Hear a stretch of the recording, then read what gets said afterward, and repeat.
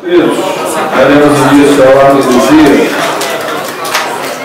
Mas antes de iniciarmos a ordem do dia, vou fazer a instalação da CPI, que foi votada aqui na sessão passada e aprovada por unanimidade nessa casa.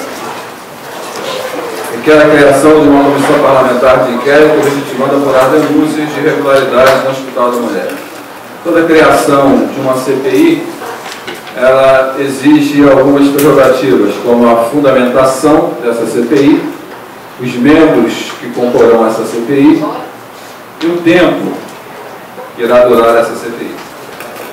A fundamentação é apurar denúncias referentes a problemas no atendimento médico, na disponibilidade de medicamentos, insumos, correlatos, material hospitalar, a estrutura disponível para o trabalho dos profissionais de saúde. O tempo de duração dessa CPI será de 90 dias e ela será composta por sete vereadores que passo agora a elencar. Vereador Miguel Alencar, vereador Ricardo Martins, vereador Alexandre Codesso, vereador Rafael Peçanha, vereador Vinícius Correia, vereadora Letícia Jota e vereador Aquiles Barreto. A CPI está instalada e os seus presidentes e relator serão votados pelos integrantes da CPI. Tá bom?